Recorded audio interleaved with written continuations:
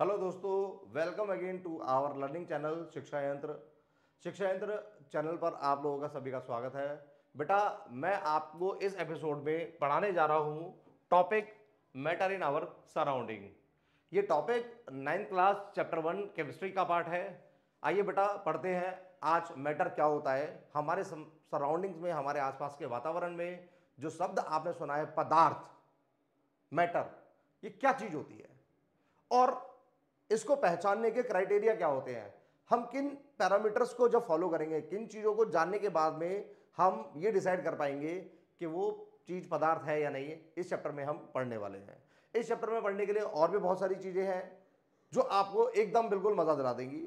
ये fun and जो fun and games वाली साइंस तो है ही है बेटा। आपके कंटेंट को, जो लर्निंग कंटेंट है, जो आपको एग्जामिनेशन में तो बूस्ट करेगी करेगी। इस साइंस को हम लोग इन्वायरमेंटल साइंस और अलाइड साइंस भी बोलते हैं। जो आपको डे टू डे लाइफ के अंदर में भी चीज़ों को फैक्ट्स को समझने में मदद करती है। तो इसको आप इंटरेस्ट के साथ में और अपने जो प्रस्पेक्टिव है आपका एग्जामिनेशन दोनों प्रस्पेक्टिव के साथ में आप इसको लेकर चल सकते हैं। आइए दोस्तों, पढ़ते हैं मैटर इन आवर सराउंडिंग में। मैं आपको कुछ यहाँ इमेजेस दिखाऊँगा और उनकी ऑब्जर्वेशन करने के लिए बोलूँगा। जैसे कि आप लोग पहले देखेंगे हमारे पास यहाँ मॉड्यूल वन में हम लोग पढ़ेंगे इंट्रोडक्शन टू मैटर और definition of matter introduction matter का स्टार्ट करते हैं। अब यहाँ आप ये क्या देख रहे हैं स्क्रीन पर? एक क्लासरूम मैं आपसे कहने जा रहा हूँ कि इस क्लासरूम के अंदर ईच एंड एवरीथिंग को आप ऑब्ज़र्व करें। आप ढंग से देखें कि इस क्लासरूम्स के अंदर में जो भी सामान है, जो भी चीज़ें हैं, उसको आप ऑब्ज़र्व करें और ऑब्ज़र्व करने के बाद में एक लिस्ट आपने तैयार कर लेनी है। अब आप आगे देखेंगे क्वेश्चन आपके पास में आएगा do all these things have mass क्या इन सभी चीज़ों के पास जो आपने ऑब्ज़र्व की है इस क्लासरूम के अंदर, क्या इन सभी के पास मास है? हम लोकल भाषा में, अगर हम, मैं साइंस के टेक्निकल शब्द को हटाकर, मैं आपको लोकल भाषा में समझाने की कोशिश करूँगा आम भाषा में तो क्या इन सब चीज़ों के पास में वज़न है? वज़न। चलिए, आपका आंसर क्या होना चाहिए? Yes they all have mass अगर आप इस बैग को उठाते हैं, अगर आप स्क्रीन पर इन डेस्क को देखते हैं, अगर आप वाटर बॉटल को देखेंगे, आप और लर्निंग एसेसरीज को देखेंगे, आप यहाँ पर ग्रीन बोर्ड को देखेंगे प्रोजेक्टर को देखेंगे, आप किसी भी चीज़ को अगर आप आपने जो लिस्ट बनाया है, आप उस लिस्ट में इन सब चीज़ों को ऑब्ज़र्व करने के बाद में आप देखें, क्या ये इस क्वेश्चन का आंसर यस में दे दे पा रही है? तो आपको मिलेगा yes they all have mass इन सभी के पास वज़न है। मैं बेटा यहाँ आपको इंट्रोडक्शन दे रहा हूँ मैटर का, और मैं मैटर के बारे में समझाने की कोशिश कर रहा हूँ। चलिए आइए अपने नेक्स्ट क्वेश्चन पे आते हैं। डू दे ऑक्यूपाई स्पेस क्या ये सभी चीज़ें, क्या ये सभी चीज़ें स्थान भी घेरती हैं?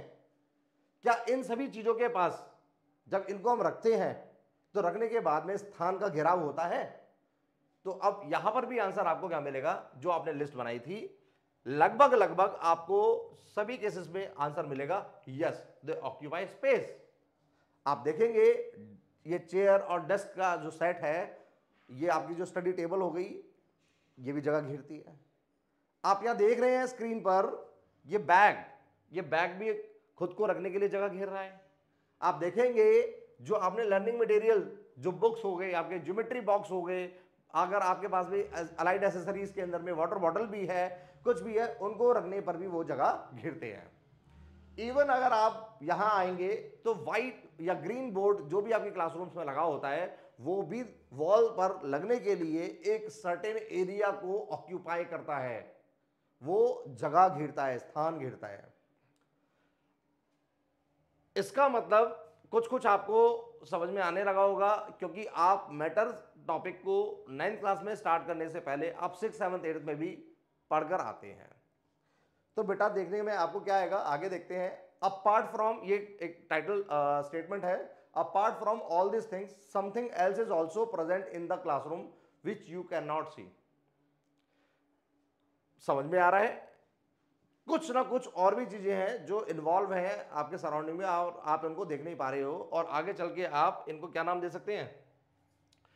Whatever present around us is called matter जो कुछ भी इस क्लासरूम में प्रेजेंट है, वो सब क्या है? मैटर है। पदार्थ है। आगे समझते हैं चीज़ों को? देखिए। Let us see few more examples of matter matter के कुछ और एग्जांपल्स देखते हैं। ये फ्रूट्स इस बास्केट में तो ये बास्केट ये फ्रूट्स ये सभी मैटर्स की कैटेगरी में आते हैं, क्योंकि ऑल दे हैव मास और ये सभी भी स्पेस को ऑक्यूपाई कर रहे हैं। ये सभी क्या कर रहे हैं? ये वातावरण में, किसी भी जगह पर इन्वायरमेंट में क्या करते हैं? रखने पर स्थान घेरते हैं। आगे आते हैं। तो हमारे पास क्या रहेगा? स्क्रीन पर जो ये नेक्स्ट इमेज है, ये इमेज आपको दर्शा रही है सैंड थार डेजर्ट की तरफ़ कोई नहीं जा रहा है दुबई की तरफ़ कोई नहीं जाएगा, ठीक है ना? आपने यहाँ देख दिए सैंड और इस, ये जो सैंड है, ये भी क्या करती है? स्पेस ऑक्यूपाई करती है, इसके पास भी कॉमन प्रॉपर्टी है, और इसके पास भी अपना मास होता है, वज़न होता है। आगे आते हैं, आगे देखेंगे तो रोजेस यानी एनी फ्लावर आप इसमें भी कह सकते हैं कि इन तीनों के पास में सेम प्रॉपर्टी है all the three things have mass and they gonna occupy the space आगे आएँगे, आगे देखेंगे वाटर ड्रॉपलेट्स और आगे आए क्लाउड्स बादल और आगे आएँगे तो आपके पास में हेवनली बॉडीज उसके बाद आगे आएँगे, आप इसको टॉमी पपी डॉग कुछ भी कहकर पुकारिए, आप क्या देखेंगे? सभी के पास सेम प्रॉपर्टी है। They all are made up of matter they all are matters ठीक है? सभी के सभी पदार्थ हैं। इन शॉर्ट पदार्थ क्या चीज़ें होती हैं? वो चीज़ें। जो क्या करें?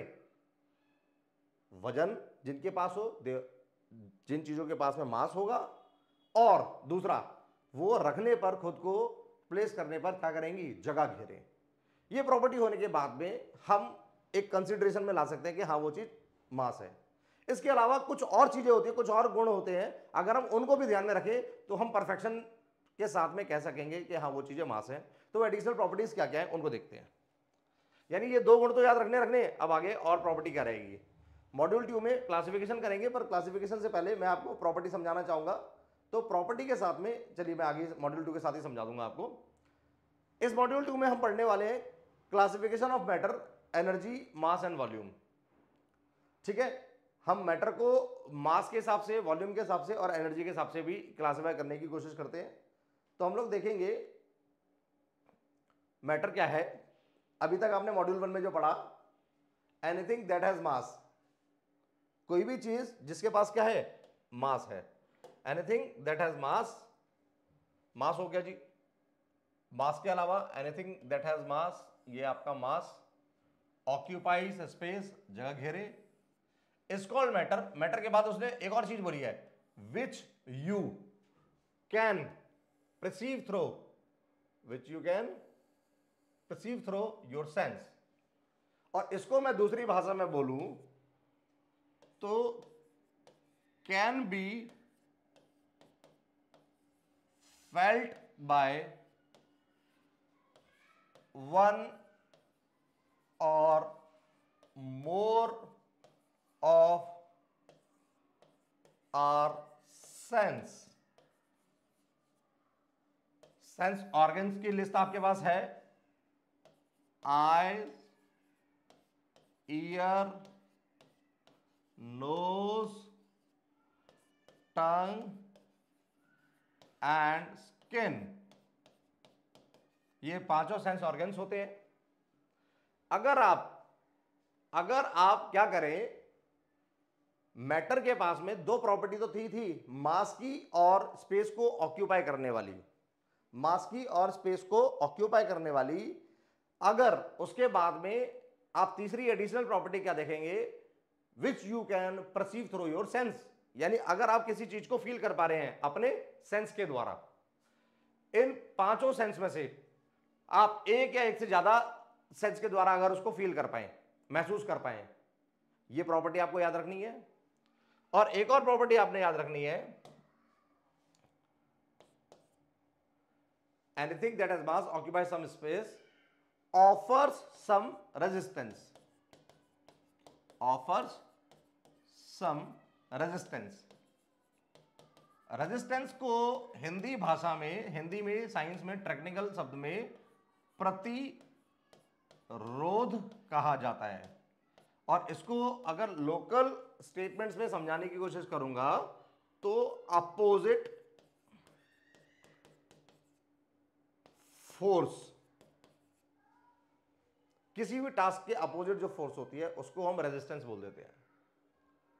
अब मैटर के अंदर चार प्रॉपर्टी आपने याद रखनी है। वो प्रॉ, वो प्रॉपर्टीज़ क्या क्या है? मैटर पदार्थ क्या होता है? जो जिसके पास वज़न हो रखने पर जगह घेरे और किसी भी एक सेंस या एक सेंस से ज़्यादा के द्वारा वो फील किया जाए और वो ऑफ़र करे सम रेजिस्टेंस वो प्रतिरोध को पैदा करे प्रतिरोध को उत्पन्न करे। ठीक है ना? वो एक रेजिस्टेंस भी क्रिएट कर रहा हो। चलिए मैं आपको एग्जांपल देता हूँ और चीज़ों को समझते हैं यहाँ पर एग्जांपल के साथ में। हम जैसे कि एयर के बारे में देखें तो एयर हैव मास एयर के पास वज़न होता है। कैसे? आप बलून को जब फुलाते हैं सॉरी आप जब आप नॉर्मली हमने घरों में देखा है, हम गैस सिलेंडर को जब लाते हैं तो हम उसे तोलते हैं। एम्प्टी सिलेंडर और एम्प्टी के बाद में जब उसको भर देते हैं तो भरने के बाद में फिल्ड सिलेंडर तो दोनों का वज़न अलग अलग होता है। अप्रॉक्सीमेट चौदह किलो के आसपास में खाली सिलेंडर का वज़न होता है और जब हम भरा हुआ लेते हैं तो उनतीस किलो के आसपास यानी पंद्रह किलो उसमें गैस होती है, ठीक है ना? तो ऐसा करके कुछ लॉजिक होता है। तो यहाँ से आपको क्लियर हो गया कि एयर जो है, हम उसको तोल रहे हैं, यानी एयर के पास मास है। दूसरा, आप देखते हैं, जब आप एयर को बलून में भरते हैं तो बलून क्या करता है? अपना स्पेस बड़ा करता है, फूलता है। ऑब्वियस बात है, उसके अंदर क्या जा रहा है? एयर जा रही है। और एयर जाने से बलून अपना साइज़ क्या कर रहा है? चेंज कर रहा है। तो इससे क्या पता लगा आपको कि air occupy some space also air के पास मास भी हो गया एयर ने स्पेस भी ऑक्यूपाई कर लिया। एयर को आप फील भी कर सकते हैं। आप गर्मियों में एयर को फील करते हैं। एयर कंडीशनर वाली एसी वाली जो ठंडी हवा होती है, उसको आप अपने स्किन वाले सेंस के साथ में फील करते हैं। या फिर गर्मियों में आप जब वार्मर चलाते हैं हॉट एयर वार्मर जो होता है अब जो वार्मर है, वो भी क्या करता है? आपको गर्म हवा फील करवाता है। तो इट मीन्स एयर के पास तीन प्रॉपर्टियाँ तो आ गई। क्या हम उसको फील कर सकते हैं? उसके पास मास होता है और वो क्या करता है? प्रतिरोध भी पैदा करता है। ये मैंने आपको बताया सॉरी फील किया जा सकता है। मास भी है, जगह भी गिरता है। अब प्रतिरोध कैसे पैदा करता है, उत्पन्न करता है, उसका भी एक एग्ज़ाम्पल आपके पास है। आपने अगर कभी इस डायरेक्शन से, आपको जाना इस ट्रैक पे है, आप यहाँ साइकिलिंग कर रहे हैं साइकिल करते हुए आप इस डायरेक्शन में मूव कर रहे हैं और सामने से हवा इस तरफ़ आ रही है तो आपको बहुत डिफिकल्टी फेस करने को मिलती है। आप साइकिल की बात छोड़िए, अगर कभी कुछ ठीक ठाक सा तूफ़ान वगैरह भी आया, आंधी वगैरह भी आई है और अगर आप उस टाइम ट्रैवलिंग कर रहे हैं तो जिस डायरेक्शन में आप जा रहे हैं, अगर उसकी उल्टी दिशा में अगर वहाँ से कुछ चीज़ें आती हैं तो आपको दिक्कत होती है। ट्रैवल करने में इवन जबकि वो बाइक या मोटरसाइकिल जो है वो मशीनरीज के बेसिस पे चलती है, पर फिर भी आपको दिक्कत होती है। हैंडल में स्टेबिलिटी लाने में और चीज़ों को में। तो इससे क्या पता लगा? एयर के पास मास भी है स्पेस भी ऑक्यूपाई कर पा रही है रेजिस्टेंस भी ऑफ़र कर दिया और फील भी कर लिया। इट मीन्स एयर क्या है? एक मैटर है। बेटा, अब आप इन प्रॉपर्टीज़ के बेसिस पे मैटर की क्या करेंगे? लिस्ट बनाएँगे। अगर आपको कुछ डाउट सेक्शन में आप डाउट डाल सकते हैं कि, सर, ये चीज़ मैटर होगी, नहीं होगी? मैंने ये, मेरा परसेप्शन ये है। वो चीज़ें आप डाउट सेक्शन में डालिए। फिर मैं अगली क्लास में आपको, अगले टॉपिक में, अगले वीडियो में मैं आपको बताऊँगा कि हाँ वो चीज़ें मैट आप उसको मैटर कंसिडर करेंगे या नहीं, उनमें वो प्रॉपर्टीज़ हैं या नहीं, आप उनको देख पा रहे हैं या नहीं। कभी कभी ऐसा होता है प्रॉपर्टीज़ होती है, पर आप उन्हें देख नहीं पाते हैं। आपके पास एग्जाम्पल्स नहीं होते सोचने के लिए तो मैटर्स को लिस्ट करेंगे। तब तक के लिए कीप प्रैक्टिसिंग कीप लर्निंग मैं मॉडल मॉड्यूल टू को नेक्स्ट वीडियो में फिर से कंटिन्यू करने वाला हूँ। और उम्मीद करता हूँ कि मैटर को लेकर जो चार प्रॉपर्टीज़ आपको समझ में आनी चाहिए, वो आपको समझ में आ चुकी होंगी।